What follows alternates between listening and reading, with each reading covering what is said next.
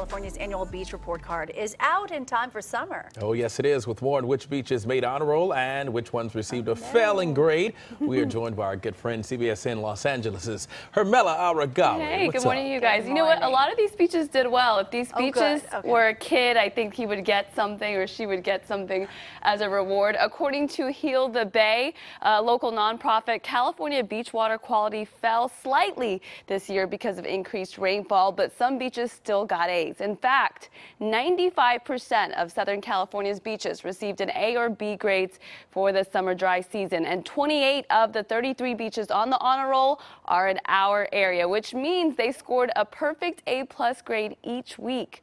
The top beaches in LA County were Cabrillo Beach, Ocean. Oceanside in San Pedro and Las Tunas County Beach in Malibu. Orange County had 10 beaches make the list, while San Diego had 12 beaches on the honor roll.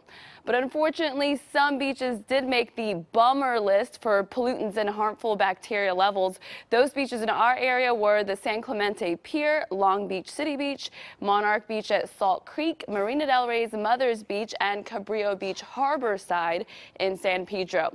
More rain and lack of proper water circulation led to a lot of those failing grades. More of the findings are expected to be announced later this morning at a news conference next to the Santa Monica Pier.